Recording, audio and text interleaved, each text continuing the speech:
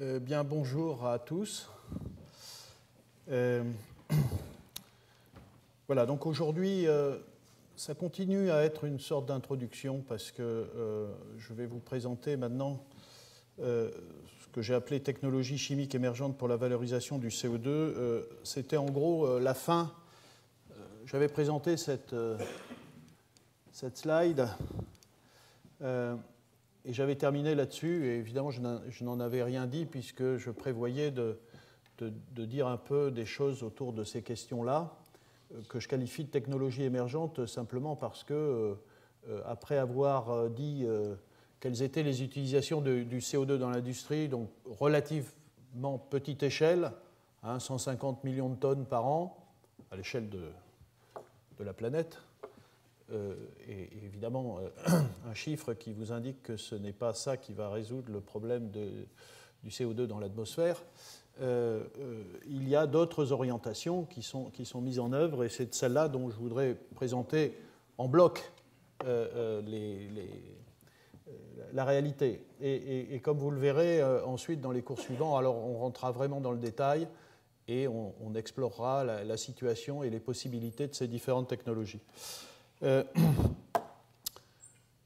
alors, euh, comme vous le savez, chaque fois il y a un séminaire qui suit, et, aujourd'hui donc c'est Henri Cramail qui est, professeur à l'université de Bordeaux et qui est euh, impliqué sur de multiples aspects, en particulier les polymères, mais pas que les polymères, dans cette question de l'introduction du, dioxyde de carbone dans de la matière organique qui peut être utile pour les chimistes. Je le remercie d'être là et, donc il va, nous raconter ce qu'il fait dans, ce domaine. Voilà. Alors, quand on regarde les, technologies euh, dites innovantes, émergentes, euh, la question est euh, finalement, est-ce qu'on peut faire encore mieux en termes d'utilisation du CO2, de, fixation du CO2, hein, puisque c'est quand même un, des points importants, et euh, euh, donc il y, a plusieurs critères. C'est évidemment, comme, enfin, comme vous pouvez le voir dans des diagrammes comme ça, c'est la quantité de CO2 qui peut être fixée euh, dans, la, molécule considérée, dans le matériau considéré, le temps de fixation, ça peut être le, niveau de développement technologique, et puis eh les performances d'une certaine façon en termes d'économie d'énergie, et de, euh, euh, là aussi de fixation du, CO2. Et donc, euh, voilà les, grandes lignes. Il y, a toute la chimie des polymères qui conduit à des résines, en particulier uréformaldéhyde, mais toutes sortes de résines, et, plus spécifiquement les polycarbonates, qui est un grand débouché du CO2. Et là, comme vous pouvez le voir, bien sûr, avec les polymères, donc ce qu'on vise dans ces diagrammes-là, c'est d'être sur le coin droite en haut. Euh, et là, on voit que déjà, les polymères, on est dans des, dans des performances qui sont intéressantes. Donc moi, je, je, pense qu'en effet, euh, la, chimie des, polymères à partir du, CO2 euh, doit être développée et peut être une, une, option intéressante, à la fois en termes de fixation de CO2 et puis d'application. Et comme vous pouvez le voir, on est déjà pas mal avancé. Ici, les flèches, en gros, la longueur des flèches, c'est le chemin qu'il y a à parcourir pour euh, euh, réaliser euh, des, enfin, je veux dire, des, technologies qui sont applicables et qui sont performantes. Et comme vous le voyez, dans le cas des polymères, bon, il faut encore améliorer les choses, mais on, voit voit qu'il y a là des perspectives qui peuvent être éventuellement à court ou moyen terme, pas à long terme. bon, ensuite, j'indiquerai tout un tas de méthodes chimiques pour euh, fixer du CO2 euh, tout en synthétisant des, composés organiques intéressants. Euh, et puis ensuite, il y a le domaine de la réduction de, du CO2 en acide formique, en méthanol, en méthane et peut-être en, molécules carbonées encore plus élaborées. Et là, je pense d'une part à l'hydrogénation, donc utilisation de l'hydrogène qui réagit avec le CO2, évidemment tout ça est catalysé. Euh, la photoélectroréduction, ici, euh, l'énergie vient non pas d'une molécule comme l'hydrogène, mais vient d'un système électrique euh, ou de la lumière solaire, par exemple. Et puis, en troisième, il y a tout le domaine des, biotechnologies, donc c'est l'utilisation des micro-organismes qui, vous le savez, ont la, enfin, notamment les, organismes photosynthétiques qui ont la possibilité et la puissance de fixer l'énergie solaire pour faire réagir du CO2 avec de l'eau et produire toute la biomasse qui nous entoure. Et comme vous le voyez ici, en tout cas, euh, l'hydrogénation du CO2, euh, l'activation électrocatalytique du CO2, l'activation photocatalytique du CO2, euh, ce sont des technologies qui sont encore très très loin d'être appliquées au niveau industriel. Et donc, il y a énormément de recherches à faire pour voyez, parcourir ce, ce chemin-là. Alors, voilà, ça c'est une présentation donc, très résumée, très simplifiée. Mais en gros, pour ceux qui s'intéressent à, cette chimie-là et qui ont envie de développer euh, des, projets de recherche euh, autour de la valorisation du CO2, je dirais qu'en gros, on a, ici euh, la liste des, technologies sur lesquelles il faut travailler. Et bon, voilà, ça c'est une autre façon de dire. Je vous rappelle qu'aujourd'hui, les technologies, enfin les, fameuses 150 millions de tonnes utilisé euh, actuellement au niveau de l'industrie, c'est essentiellement la, synthèse de l'urée. Euh, c'est une grosse partie de méthanol et puis de façon un peu, un peu moindre, euh, carbonate cyclique, acide salicylique. Là, c'est ce que je vous ai dit, du, côté notamment des, polymères, et on va, on va voir comment on peut faire ça, des polycarbonates en particulier à partir des époxydes. Euh, euh, ce sont des, technologies qui commencent à être élaborées euh, au, niveau un peu industriel. Et puis voilà donc toute la liste que, j'indiquais, où, il reste énormément à faire et là il, y, a, nécessité d'investir dans la, dans la recherche. Alors, commençons par dire quelques mots quand même de, l'activation du CO2 euh, comme vous le savez, le CO2 est une molécule particulièrement inerte chimiquement, très stable. C'est d'ailleurs pour cela que quand elle s'accumule dans, notre atmosphère, elle y reste un certain temps. Euh, mais néanmoins, il y a, alors très stable parce que, parce que en, particulier, donc, euh, le nombre de liaisons est, important. Il y a deux, doubles liaisons carbone-oxygène.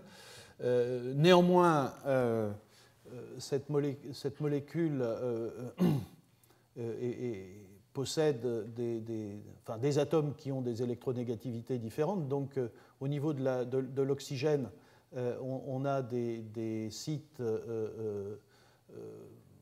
légèrement basiques et, un site carbone légèrement acide. mais voilà, il faut activer cette molécule. Et l'activation de la molécule de CO2 passe euh, en particulier, euh, enfin, peut être réalisée à l'aide d'ions métalliques. Et donc, euh, à nouveau, on va se retrouver dans une chimie qui est essentiellement chimie de coordination et chimie organométallique. Et la clé, c'est, voyez, de plier cette molécule de CO2. Et une fois alors pliée par, dans, un complexe de ce type-là, euh, avec une liaison métal-carbone ou euh, avec une liaison, euh, disons, une interaction avec la, liaison pi, une liaison pi de la liaison du système carbone-oxygène, plus rarement une interaction entre métal et oxygène, qui évidemment conduit à, polariser, polariser la, double liaison CO. Et une fois que le système est, activé ainsi, eh bien, les réactions euh, avec des molécules euh, riches en énergie deviennent possibles. On a levé la, barrière d'activation. Ça peut être de l'hydrogène, donc là c'est tout le domaine de l'hydrogénation. Ça peut être la réaction euh, avec des oléfines ou des, alcines. Enfin, on verra quelques exemples. L'énergie peut venir de, des électrons. Euh, ou de la lumière. Et là, on est dans le domaine de l'électroréduction et de la photoréduction. Mais en gros, il faut un catalyseur qui, fixe la molécule de CO2 et qui, euh, par, euh, par, ce mécanisme de, pliement de la, protéine, de, la, molécule, permet, les, réactions. Alors, je ne veux pas rentrer dans, le détail, mais c'est des choses assez classiques c'est le diagramme des orbitales moléculaires du CO2. et ce qui nous intéresse, c'est les orbitales frontières, hein, ici, où vous avez ici la, plus haute orbitale occupée, qui est une orbitale non, liante, et puis la, première vacante. Et alors, quand on regarde ces, orbitales dans une situation où la molécule de CO2 est pliée, elles sont très. La, LUMO, euh, euh, la, première vacante, la plus basse en énergie, est, très localisée euh, sur le, sur le métal, sur le, carbone, pardon, et donc un nucléophile, un métal, peut venir interagir avec cette, cette orbitale. à l'inverse, la, plus haute occupée est très localisée sur les atomes d'oxygène. Et là, vous pouvez faire intervenir des, électrophiles. Donc on comprend assez bien aujourd'hui comment il faut, euh, il faut, faire pour activer la molécule de, CO2. Euh, et, comme je vais vous le montrer, c'est essentiellement par des, par des ions métalliques. Alors, sur cette question de, comment fixer du CO2 dans la matière organique, euh, voilà, vous avez quelques revues, euh, articles de revues qui sont sortis récemment et qui sont assez bien, qui sont assez intéressantes. Euh, il y a celle-là et puis une que je vous présenterai, enfin une ensuite dans Angewandte Chemistry. Voilà. En gros, on va regarder comment, dans des conditions relativement douces de température et de pression, on peut faire réagir du CO2 en particulier avec des époxydes, mais avec d'autres molécules carbonées, euh, ou bien euh, euh, incorporer du CO2 dans des liaisons, ça peut être des liaisons CH, et à ce moment-là on obtient des acides carboxyliques, ou ça peut être d'autres types de liaisons. Ici, en gros, c'est une incorporation dans la liaison carbone-oxygène qui donne ces, carbonates. alors, Oui, voilà l'autre vue que vous pouvez aller voir, euh, qui, est intéressante. Bon, euh, donc, euh, pour simplifier, vous avez deux grandes classes de, réactions chimiques dans lesquelles le, CO2 peut être fixé. D'une part, des réactions avec des alcènes et des alcines. vous avez un, complexe métallique qui, qui fixe et qui active là aussi la double ou la triple liaison fixe le CO2 dans un deuxième temps et euh, à l'intérieur de ce complexe, dans la sphère de coordination euh, du métal, euh, le CO2 est, introduit dans, une liaison carbone-carbone. métal-carbone. L'autre grande classe de, réaction, c'est lorsque vous faites une insertion du CO2 dans une liaison métal-hydrogène ou métal-carbone ou métal-oxygène euh, et euh, lorsque c'est de l'hydrogène, vous avez de l'acide formique. Lorsque c'est de l'oxygène, vous avez des carbonates organiques. Et quand c'est du carbone, vous avez des acides carboxyliques. Voilà typiquement euh, le, type de, mécanisme de cycle catalytique qu'on peut rencontrer dans, la littérature, où vous avez un, hydrure de métallique qui fixe le CO2. Vous voyez, on a dans la sphère de coordination du métal à la fois euh, l'hydrure et le CO2 qui, par liaison sur le métal, est activé, comme je l'ai indiqué tout à l'heure, et ensuite vous avez euh, un transfert, euh, une réaction de l'hydrure sur le, CO2. Et vous avez un, intermédiaire de type formiate. et ensuite, l'hydrogène, donc ici c'est une réaction d'hydrogénation du CO2 en quelque sorte, L'hydrogène réagit avec euh, ce complexe pour donner de l'acide formique euh, euh, et pour refermer le cycle en donnant un, hydrure. souvent, ces réactions sont thermodynamiquement pas très favorables et elles sont déplacées avec une base qui, produit du, formiate. alors, quelques exemples cette euh, transformation du CO2 en acide carboxylique, c'est une, une, réaction qui est, qui est, pas mal étudiée, euh, mais qui encore euh, n'a aucune application industrielle. et il y a un certain nombre de, problèmes. Et un des problèmes, c'est de, de, libérer le produit et de régénérer le, catalyseur. Donc, vous voyez, vous avez par exemple un, complexe ici organométallique, une liaison métal-carbone, vous fixez le CO2, vous, vous, introduisez le, enfin, le CO2 s'insère dans la liaison métal-carbone. Et ici, c'est un produit relativement stable souvent et, on a du mal à fermer le cycle. Alors une des façons de faire, c'est d'utiliser un oxophile, et en particulier, il y a énormément de choses avec des, complexes organométalliques, du zinc ou de l'aluminium.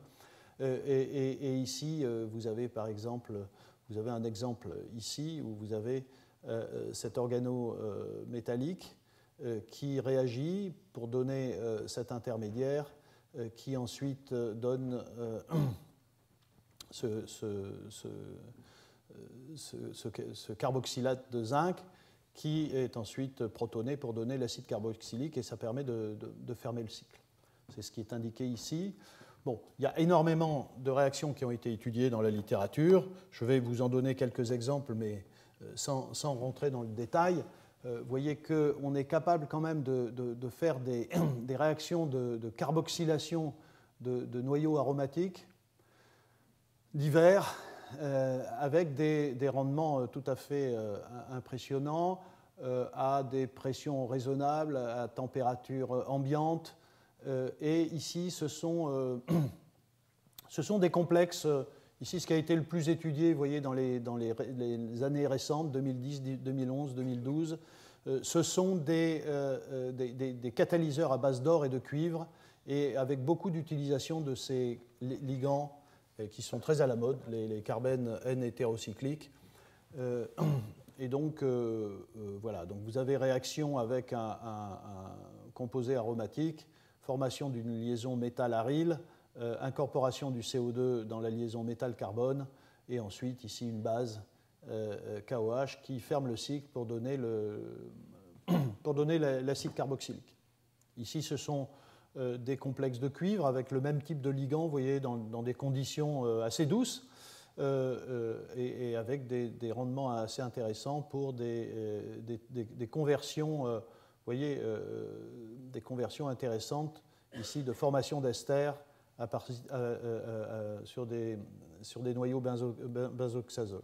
Bon, là, c'est le même type de réaction. Donc il y, a énormément de choses comme ça. là aussi, je ne veux pas euh, rentrer dans le détail. Euh, donc c'est beaucoup de la, recherche dans le, domaine de la chimie organométallique. Euh, là aussi, vous voyez des rendements intéressants de formation de liaison carbone-carbone utilisant le CO2 sur des noyaux aromatiques. Bon. Ça, c'est euh, donc c'est toute la voie CO2 vers euh, acide carboxylique. Ensuite, vous avez euh, la transformation donc, du, CO2 en carbonate ou en polycarbonate. Et là, il y a une très très grande réaction qui est, beaucoup étudiée, beaucoup développée. c'est la réaction avec des époxydes, avec insertion du, du, dioxyde de carbone dans la liaison métal-oxygène. Alors les carbonates sont intéressants hein, parce qu'il y a tout un tas d'applications.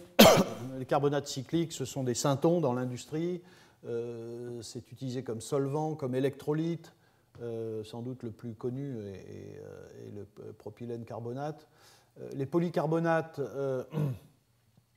sont intéressants aussi et ont des utilisations dans, l'industrie automobile, dans, l'électronique, enfin, etc., etc. Alors là, euh, c'est intéressant parce que euh, finalement, la chimie qui est mise en œuvre euh, est à base de, complexes relativement classiques pour les chimistes de la chimie de coordination ou chimie organométallique. et en particulier beaucoup de chimie de, ligands, de, ligands de type salène, vous voyez, de, ce type-là. mais vous, vous, allez le voir, je vais donner quelques structures, mais il y a aussi des, des bêta-dicétimines, des porphyrines, des, complexes phénoxydes métalliques. Euh, voilà, ici vous avez beaucoup de salène.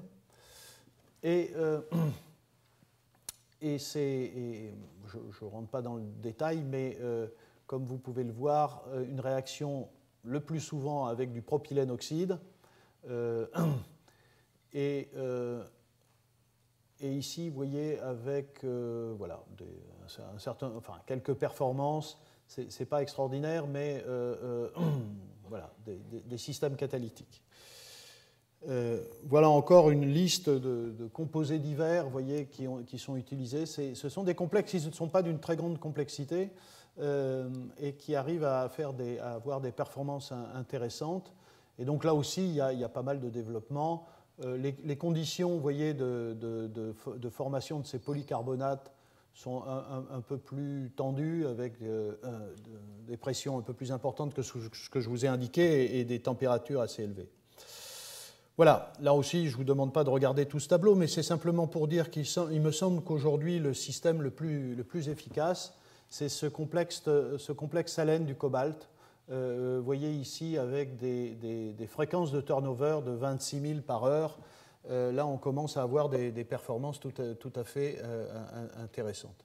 Et je pense que quand on voit les, effets de, différentes variations autour d'un même noyau de type salène, par exemple, en faisant varier les substituants, en faisant varier les métaux, enfin, etc., on peut penser qu'on va, on va, on va améliorer euh, les rendements, euh, la vitesse et, donc les, fréquences de turnover, euh, etc. Donc, à ma connaissance, c'est celui-là qui est, le, plus, actif.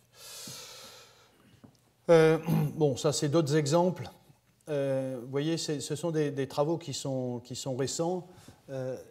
voilà, d'autres complexes pour faire. alors, en fonction des conditions, vous pouvez faire des, des, carbonates cycliques ou des polycarbonates euh, avec le même type de, catalyseur. Et puis, euh, vous pouvez aussi, euh, avec par exemple ce, type de catalyseur,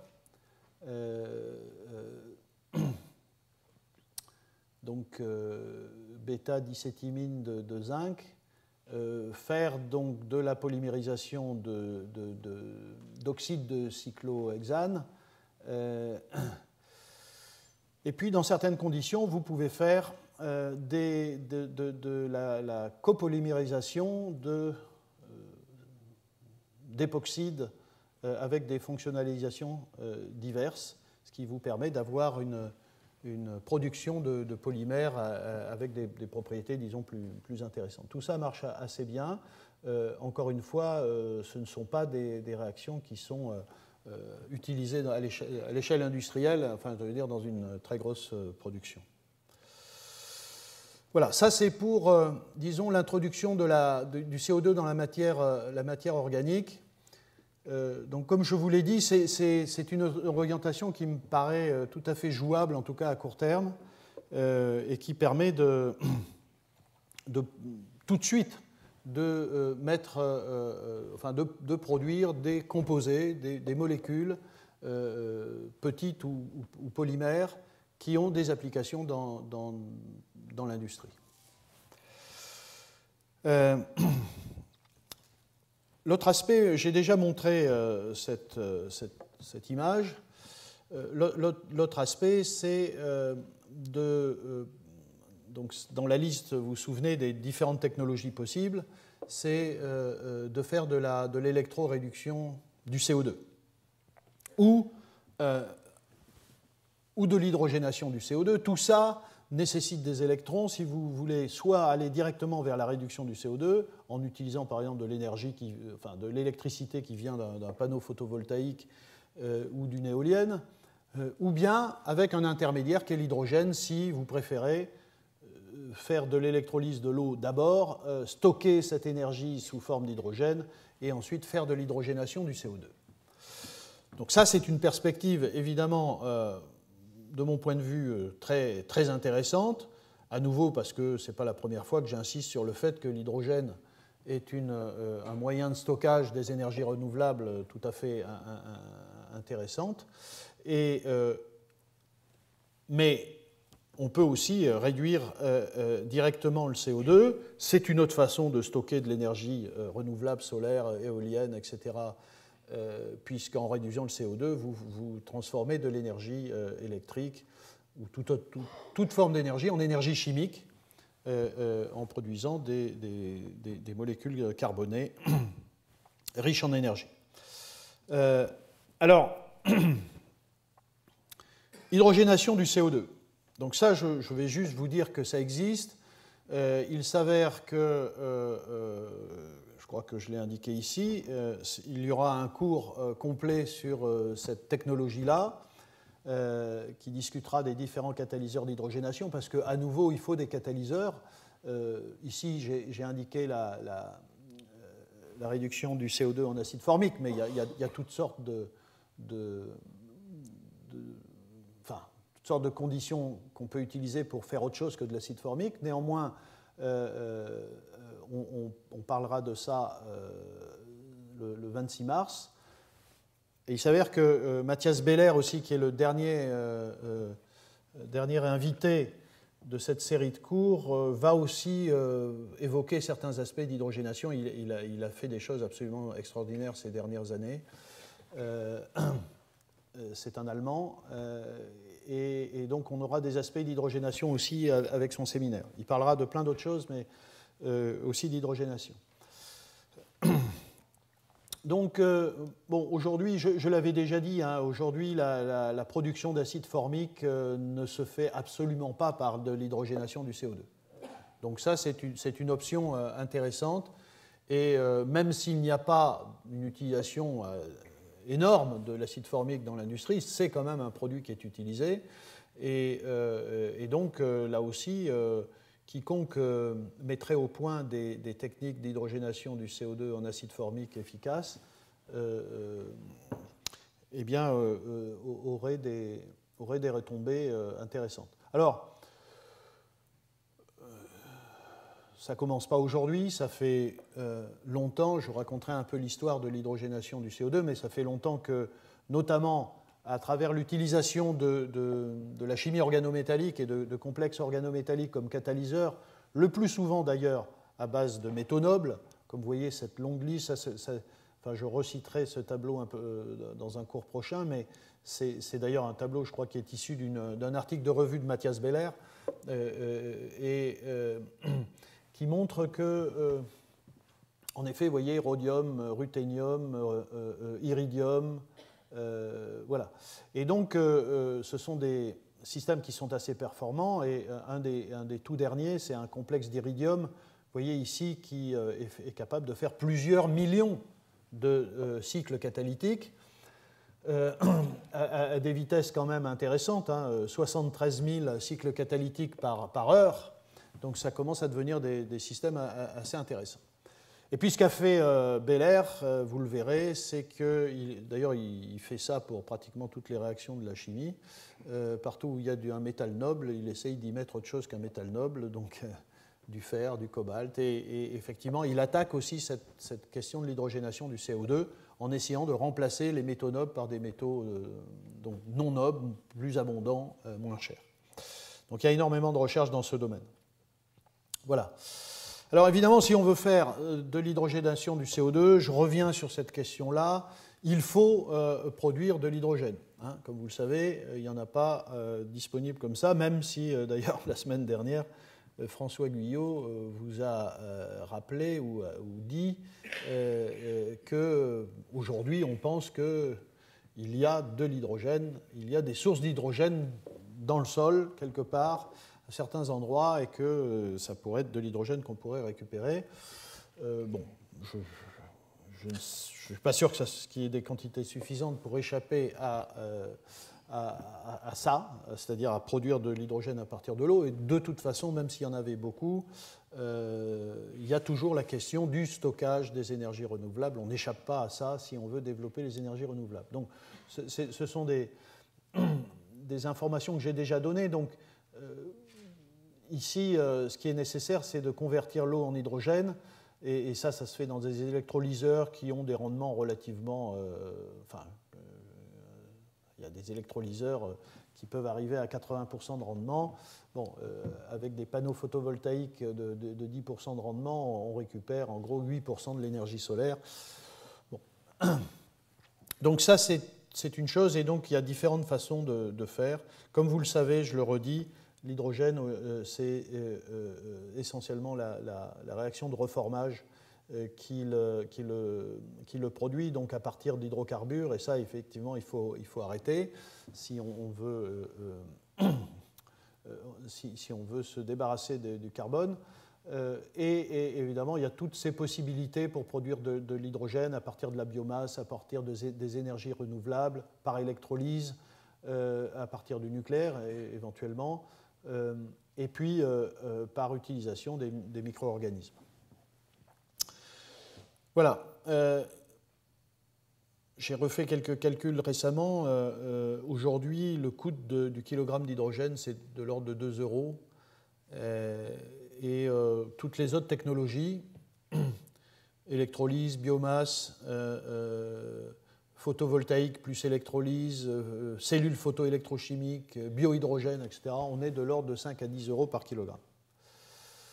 L'objectif, c'est évidemment de tomber au niveau de 2 euros. Donc là aussi, il y a des recherches qui doivent être menées euh, pour, euh, atteindre cet objectif, sinon euh, on continuera à faire du reformage. Voilà. bon, réduction électrochimique du CO2. Bon, en gros,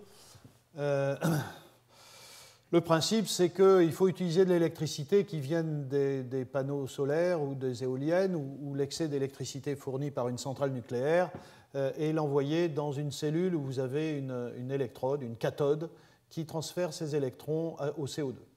Alors évidemment, là aussi, il faut des, catalyseurs euh, solides ou, homogènes, solubles.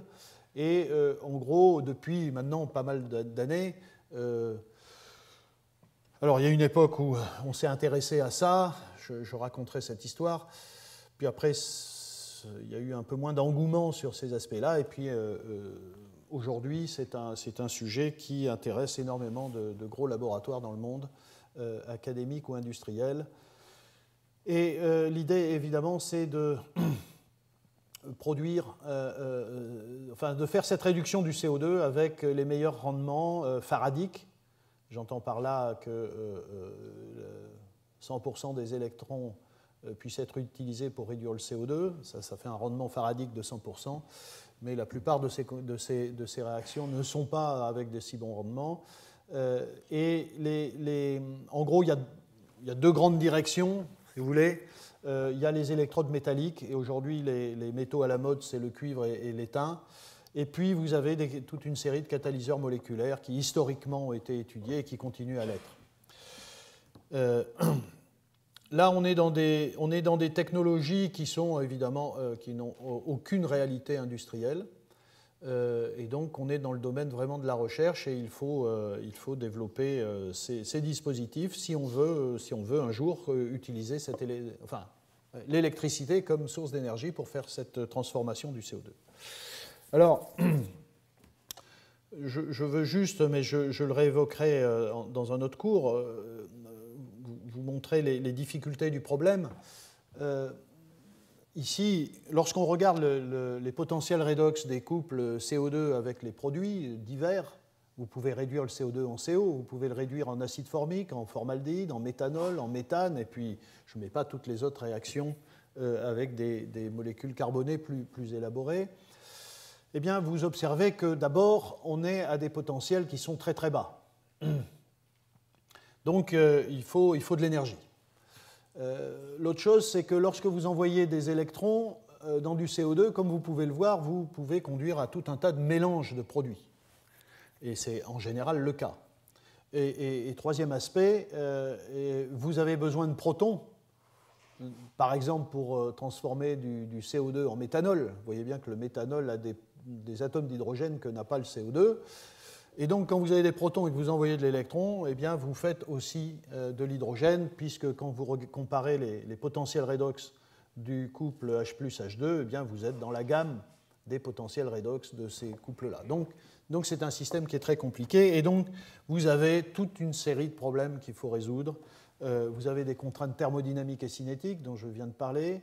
Ah oui, euh, enfin cinétique, je ne viens pas d'en parler, mais en gros, vous voyez que ce sont des réactions à multiples protons et multiples électrons, donc qui sont cinétiquement extrêmement contraintes. Donc grande barrière d'activation et il faut des catalyseurs. Euh, vous avez, je l'ai dit, de la compétition avec la réduction de l'eau en hydrogène. Vous avez en général de grandes surtensions sur ces systèmes. Euh, vous avez un problème qui est la faible solubilité du CO2 dans l'eau. ça, c'est vraiment un, problème important puisque vous avez envie de faire cette chimie-là dans de l'eau et, là, le CO2, il n'est pas très soluble. donc beaucoup de ces systèmes sont étudiés dans des solvants organiques et par ailleurs, il y a aussi des, systèmes dans lesquels on essaye de travailler avec le gaz directement.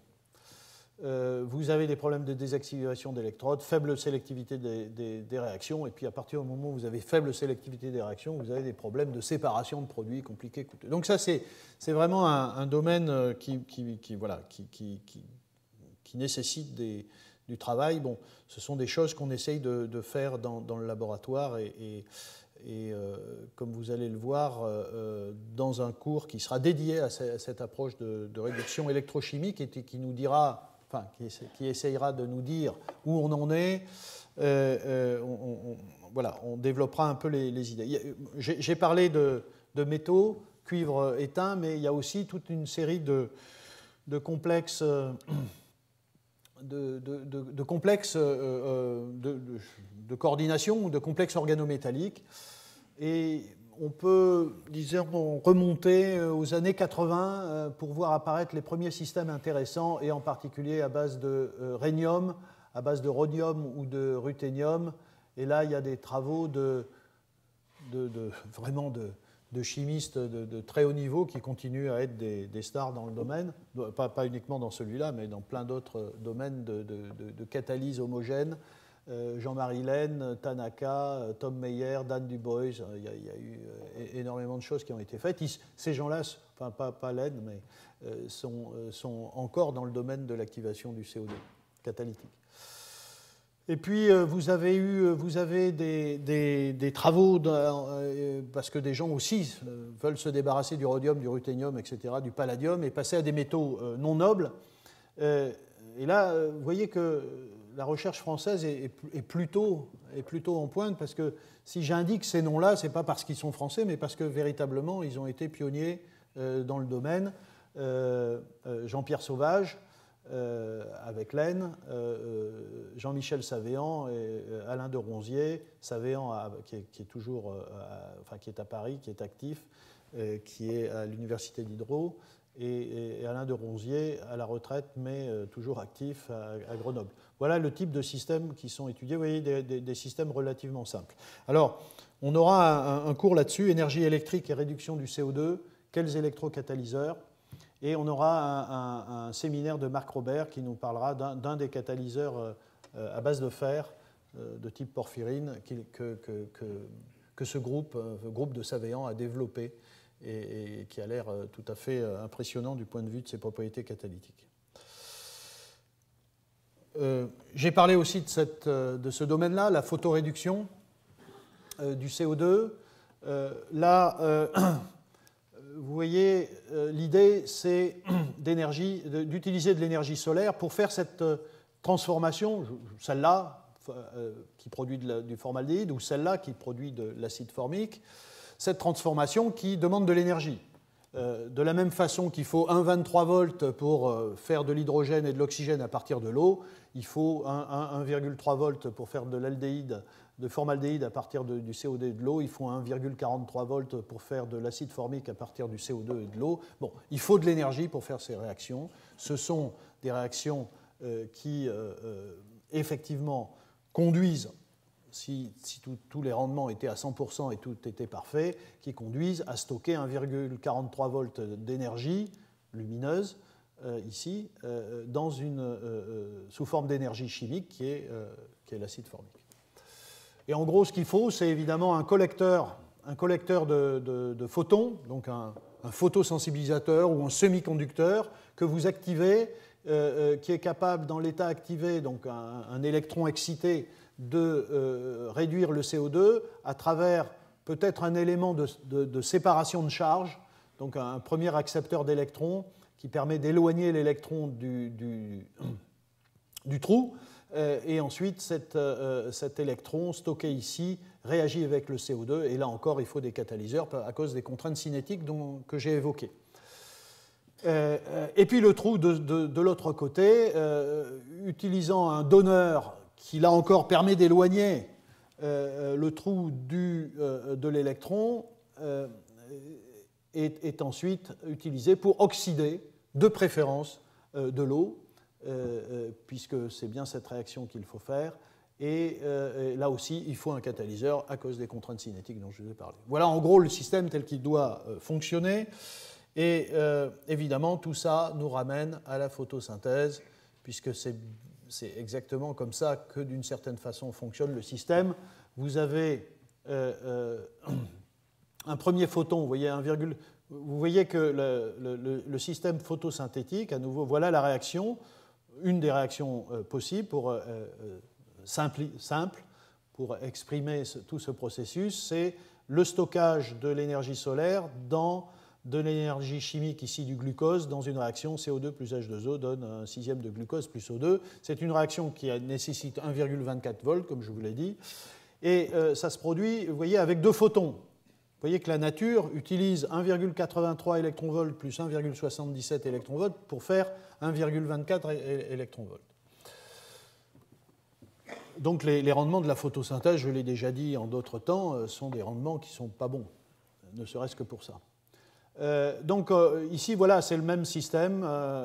Vous avez un, premier photon qui excite un électron. Ici, c'est le photosystème 2 qui fait office de photosensibilisateur. Un électron excité parcourt tout un chemin de transfert d'électrons et au cours de ce chemin, il perd de l'énergie. C'est la raison pour laquelle vous avez besoin d'un deuxième photosystème pour réénergiser cet électron qui ensuite est envoyé dans du NADP qui est réduit à un NADPH et qui est, une, forme de, stockage de l'énergie solaire, euh, euh, stockage chimique d'énergie solaire, et c'est cette euh, source d'électrons NADPH qui est ensuite utilisée pour fixer le CO2 et produire toute la biomasse.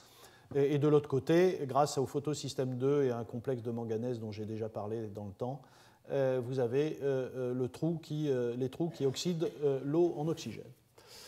Voilà, donc il y a énormément de travaux euh, dans le domaine dit de la photosynthèse artificielle. Euh, et en gros, vous voyez, on essaye, c'est une autre façon de présenter euh, mon, fameux système avec photosensibilisateur, accepteur, donneur, catalyseur, etc. Bon, voilà. À nouveau, il faut deux grandes choses pour, réaliser cette photosynthèse artificielle. Il faut d'une part un collecteur de lumière qui soit capable de euh, favoriser la séparation de charges et s'opposer à la recombinaison des charges. Donc c'est des semi-conducteurs, il y a eu beaucoup de travaux avec des oxydes de titane, des oxydes de tungstène, des oxydes de fer, enfin il y a des centaines de, semi-conducteurs qui sont testés, ou des molécules, des phthalocyanines, des porphyrines, des complexes de ruthénium, enfin, etc., etc. Donc là c'est le même principe, vous voyez, séparation de charges au niveau du photosensibilisateur, et puis euh, un catalyseur pour la réduction des protons, des, protons ou ici du CO2, et euh, de l'autre côté un catalyseur pour faire un processus à quatre électrons. Donc il faut des, catalyseurs qui soient capables de capter plusieurs électrons ici ou plusieurs trous ici, et un par un, parce qu'à chaque photon c'est un, électron et un trou, et de préférence à potentiel relativement constant, sinon, euh, sinon évidemment vous, vous ça, devient très difficile d'oxyder ou de réduire. Et, évidemment le plus proche du potentiel thermodynamique de la réaction. Et il faut euh, délivrer les électrons euh, d'un coup ou les trous d'un coup de manière concertée. Donc très très compliqué. Voilà. Alors en général, euh, d'une certaine façon, ce dispositif-là n'existe pas. Personne n'a jamais fait ça de façon. enfin, il y a peut-être un ou deux exemples, et donc, ce que font les gens, c'est de travailler sur des systèmes, des demi-systèmes. Euh, par exemple, ceux qui s'intéressent à, l'oxydation de l'eau euh, utilisent un accepteur d'électrons sacrificiels et n'étudient qu'une association photosensibilisateur catalyseur d'oxydation, ou à l'inverse, en donnant des électrons euh, sacrificiels, un système plus simple où vous avez le photosensibilisateur et le catalyseur de réduction. Et, les, gens qui travaillent dans ce domaine-là, euh, un jour, euh, mettront ensemble les deux choses et, on aura des dispositifs efficaces. Voilà. Il y aura un cours dédié à, cet aspect-là, donc plus en détail, vous verrez où on en est, qu'est-ce qu'on peut faire. donc du soleil et du CO2 vers des carburants solaires. Et c'est à cette occasion que donc c'est le dernier cours, le 9 avril, et, Mathias Beller donc nous parlera de, problèmes de, voilà, de stockage euh, de, l'hydrogène en utilisant du, dioxyde de carbone. Euh, dernier, dernier point, euh, les biotechnologies. Donc il y a beaucoup d'engouement pour ce domaine-là. Euh, c'est comment utiliser des micro-organismes, enfin photosynthétiques, ou, euh, ou, des plantes. Donc ici, vous voyez, plantes, micro-algues, cyanobactéries, qui sont des organismes qui font cette, chose magnifique qui est de récupérer euh, le soleil et de produire de la biomasse. Et l'idée, c'est que toutes ces alors vous voyez à peu près la, quantité, euh, il y a à peu près 100 000 terawatts, je l'ai déjà dit, de soleil sur la planète, de puissance de soleil, et il y a à peu près 100 terawatts de puissance stockée sous forme de biomasse. Euh, et je vous rappelle que la consommation d'énergie de la planète, c'est 14-15 euh, terawatts actuellement. donc vous voyez théoriquement, euh, si on arrivait à récupérer 10% de la biomasse, euh, on n'aurait pas de problème. évidemment, ce n'est pas comme ça qu'il faut, euh, traiter la, question de l'énergie sur la planète, mais néanmoins, on, peut se poser la question, d'ailleurs beaucoup de gens se la posent à l'échelle académique et industrielle, de faire des biocarburants à partir des molécules présentes dans la biomasse. bon, ça j'ai déjà dit. Alors, je rappelle que euh, ces choses-là sont commencées depuis longtemps et, d'ailleurs euh, sont déjà appliquées, utilisées euh, de façon pratique, à une échelle industrielle. Et en particulier, ça a commencé avec les biocarburants de première génération. Je les cite, mais on en, parle de moins en moins même s'il y a des tas de pays euh, comme le Brésil hein, qui, continuent à, faire de la première génération, mais aujourd'hui, par exemple, en Europe, le point de vue, c'est qu'il faut arrêter euh, la première génération, ne plus en faire.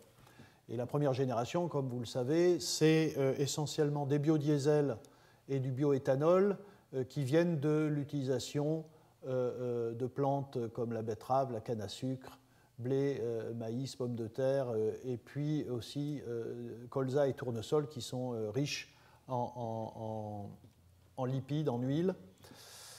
Et donc l'idée, c'est d'une part profiter, profiter des, quantités de, sucre importantes ici pour les récupérer, faire de la fermentation, faire de l'éthanol et rajouter de l'éthanol à l'essence. Et euh, du côté de, l'huile de colza et de tournesol, c'est euh, de faire des esters d'huile végétale, euh, donc du biodiesel et, de le mélanger au gazole. Bon, alors comme vous le savez, le biodiesel, ça existe, et d'ailleurs l'Union européenne est, un des, plus grands producteurs mondiaux de, biodiesel, et le bioéthanol, c'est surtout les Américains et les Brésiliens. Donc on sait aujourd'hui que le bilan énergétique est mauvais, que le coût environnemental est élevé, qu'il y a une compétition avec la, production alimentaire, et avec les ressources en eau, et puis ça n'a aucun impact sur les effets de serre. Donc euh, ceci est, terminé. Juste, euh, ça c'est une information euh, qui est sortie il n'y a pas longtemps dans Science, parce qu'on parle beaucoup des... Alors évidemment, j'ai souvent dit, bon, le problème de l'énergie, c'est le problème majeur de l'humanité, mais en fait, chacun euh, sait qu'il y, a plein d'autres problèmes, et, le problème de l'eau en particulier. Et, donc, euh, voilà, on se pose la question de savoir euh, quelles sont les technologies qui, gaspillent de l'eau, celles qui le font moins, enfin, etc. Donc ça, c'est un, article qui est paru dans, Science. Et vous voyez, c'est une, quantité de litres par mégawattheure d'énergie produite.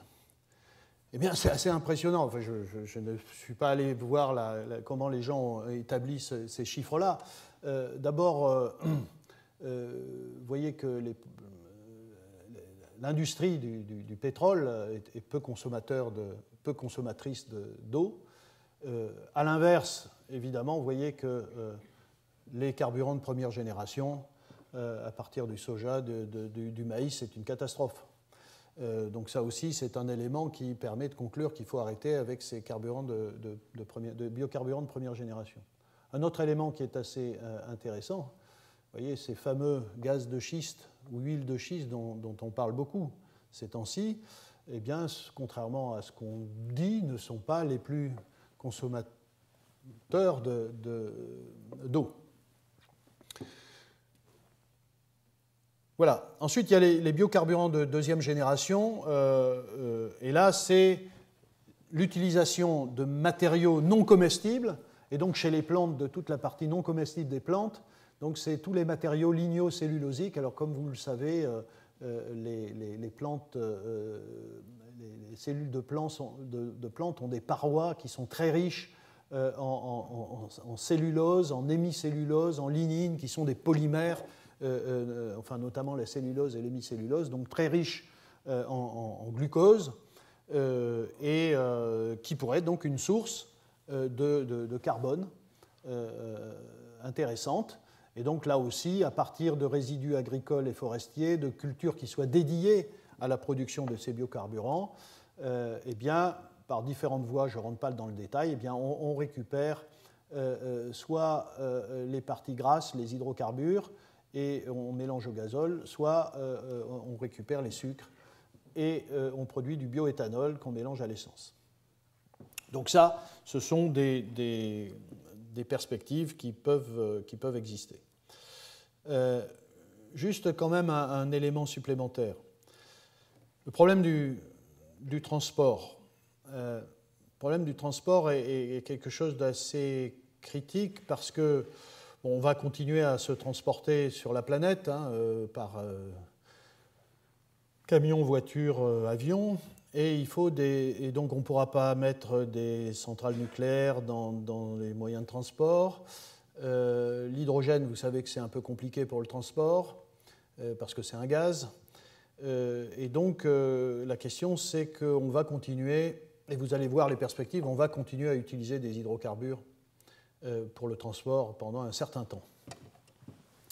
Mais vous voyez,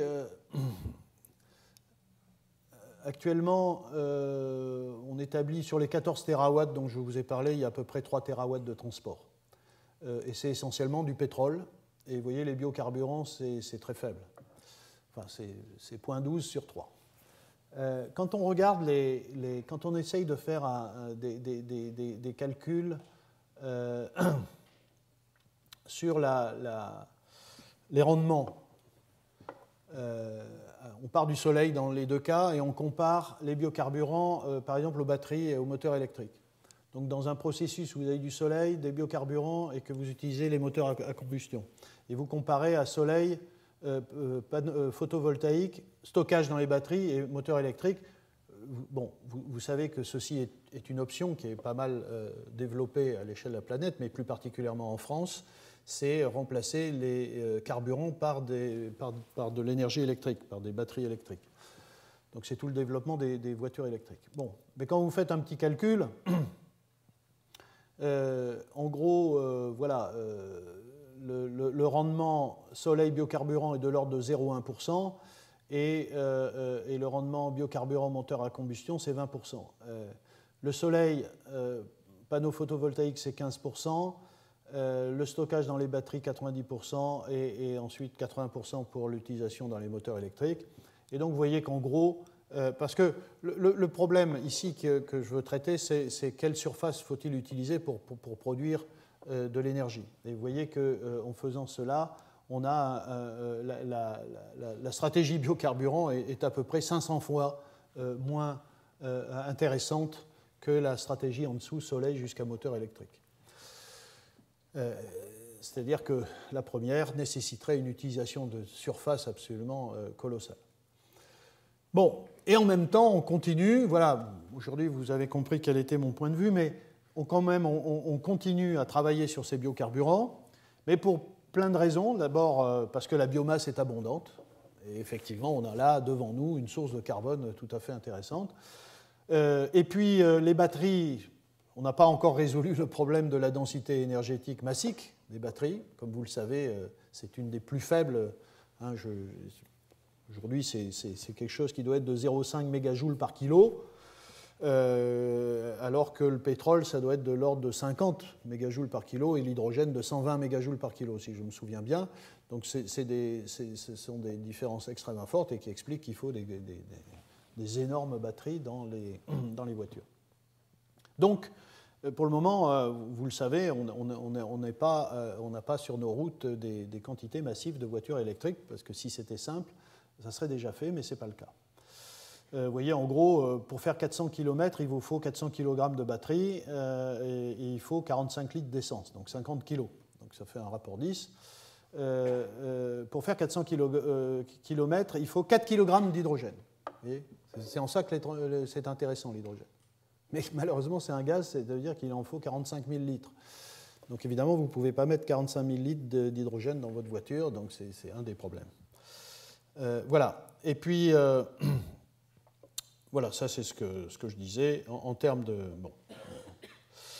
Oui, ça c'est des documents qui, qui, enfin, qui, sont assez cohérents et qui circulent, qui euh, donnent un peu les perspectives en 2050. Euh, en gros, c'est le schéma qu'on a l'air de, prévoir. Euh, et vous voyez ici que donc, sur un total d'un peu plus de 3 terawatts, euh, eh bien, vous avez presque 2 terawatts qui sont de, des énergies fossiles. Donc aujourd'hui, vous voyez que les perspectives que les gens ont, c'est malgré les développements technologiques et les efforts sur les, biocarburants, sur Euh, sur l'hydrogène, sur, euh, sur, les véhicules électriques, eh c'est que sur les 3 TWh dans 2050 de, transport, nous aurons 2 euh, TWh de carburant fossile. Voilà. Donc on va continuer à utiliser du carbone. L'hydrogène va compter pour un peu. les biocarburants pour peut-être un peu moins de 1,5 TWh. Et vous voyez que les perspectives, c'est même pour les, pour les, voitures électriques, c'est 0,5 TWh sur, sur 3. Donc, euh, vous voyez, on va rester avec beaucoup de carburants fossiles, parce qu'on ne sait pas faire autrement. Voilà. Euh, le dernier point, c'est les, biocarburants de troisième génération. Donc, c'est l'utilisation des algues et des cyanobactéries pour euh, produire des lipides et qu'on pourra utiliser comme biodiesel. Donc, il y a beaucoup d'engouement pour ces, ces organismes-là. Comme vous le savez, euh, euh, ce sont les organismes qui sont responsables d'une très très grande quantité, de, fixation d'une très grande quantité de carbone, de l'ordre de 50 milliards de tonnes de carbone par an, qui sont, euh, et, qui sont très gros producteurs de, lipides. vous voyez, c'est de l'ordre de 20 à 40 tonnes par hectare par an, donc des rendements qui sont supérieurs à celui des plantes. 50 000 litres d'huile par hectare, euh, pour ces, algues contre 6000 litres euh, pour huile de palme. C'est la moitié de la fixation du CO2 sur la Terre et il n'y a pas de compétition avec la production alimentaire. Donc ce sont des, choses qui, intéressent euh, les industriels en particulier. Donc ça, voilà, vous avez des, vues futuristes ici de, de, fermes de microalgues, vous voyez, qui sont alimentées en eau et, en soleil pour produire des lipides. Et si vous regardez, parce que la grande question de l'utilisation des, enfin, à nouveau, de l'utilisation de l'énergie solaire, c'est, euh, je l'ai dit, c'est quelle quantité de surface il faut utiliser. Ici, c'est une étude qui est, assez récente, euh, qui montre, euh, qui a comparé la production, voilà, oui, voilà, la, surface qui doit être occupée pour uniquement la production de euh, pétrole nécessaire euh, aux États-Unis. Alors vous voyez que euh, l'éthanol venant du maïs, voilà, enfin, il faut utiliser toute cette surface-là des États-Unis, donc c'est pas très bien. ça, c'est l'éthanol de seconde génération, hein, cellulosique. et puis, vous voyez donc, voilà, ça, bon, il y a différents schémas, mais vous voyez qu'on arrive à des surfaces un peu plus petites pour, pour les, biodiesels, et, et ça, c'est la quantité d'hydrogène euh, c'est si on utilise les micro-organismes pour produire de l'hydrogène. De toute façon, c'est des quantités, euh, quelle que soit la génération des biocarburants, ce sont des quantités de surface tout à fait euh, importantes auxquelles il faut penser. Donc, là aussi, on peut être sceptique quant au développement massif de cette technologie-là. Voilà, je termine là-dessus. bon, j'ai pris cet exemple. voilà, il y, y, a des réseaux qui s'organisent en France, par exemple, Green Star, Investissement d'avenir, donc c'est un réseau national de plateformes, INRA, CNRS, IFREMER, Veolia, Total, PSA. Voilà. L'idée étant de produire des biocarburants, mais peut-être plus intéressant, il y a beaucoup de débats là-dessus, c'est finalement euh, à quoi ça sert d'utiliser des micro-organismes aussi complexes, euh, qui demandent autant de surface et qui produisent de si belles molécules pour ensuite les brûler dans des, dans des carburants pour la voiture. Euh, à l'inverse, d'autres disent non, finalement ça c'est totalement absurde. Euh, utilisons, euh, utilisons ces usines cellulaires qui produisent des, si belles molécules élaborées pour les récupérer et en faire de la chimie fine plutôt que de les, brûler. Voilà. Bon, il y a des débats là-dessus. Et donc ces gens, tous ces réseaux-là, s'attachent à mettre au point des procédés de production de biocarburants de troisième génération à partir de microalgues et d'effluents d'ailleurs agricoles et urbains. Il faut les nourrir, ces algues. Euh, euh, et voilà, et, utilisation, là c'est plutôt l'aspect euh, produit chimique, développement de l'utilisation de, la, chimie pour, pour valoriser les produits issus de ces, ces, ces microalgues, cosmétiques, colorants, compléments alimentaires, etc. Voilà. la semaine prochaine, je ne vais pas parler de microalgues, mais je vais rester dans la biologie, euh, puisque je vais vous montrer comment essayer d'explorer comment font les organismes vivants pour euh, euh, exploiter le dioxyde de carbone. Et là, on verra des, systèmes enzymatiques tout à fait formidables et qui vont peut-être nous ouvrir les yeux sur des solutions auxquelles on n'avait pas pensé pour, faire de pour inventer des électrocatalyseurs ou des photocatalyseurs originaux. Par contre, la semaine prochaine, Eric Maréchal euh, va lui nous parler de, microalgues. C'est quelqu'un qui est, très en pointe actuellement, qui est directeur de recherche au CEA, très en pointe sur, avec création de start-up sur euh, tout un tas de brevets et de relations avec l'industrie, enfin, etc., autour de la manipulation des microalgues pour en faire des producteurs de molécules intéressantes. Voilà, ça sera le, thème de, la semaine prochaine. Et sur ces considérations, euh, j'espère que, euh, enfin, je vais conclure, et, euh, tout simplement en disant que, bon, aujourd'hui, je crois vous avoir montré qu'au-delà des 150 millions de tonnes de CO2 utilisées pour l'urée, le méthanol, etc., il y a tout un tas de, de directions possibles pour utiliser, fixer, valoriser le CO2 mais qu'on est très très loin du compte et que euh, tout ce que je vous ai présenté, c'est la recherche d'aujourd'hui et de demain, et, c'est peut-être des nouvelles, technologies d'utilisation du CO2, mais, mais pour demain. Voilà. Merci.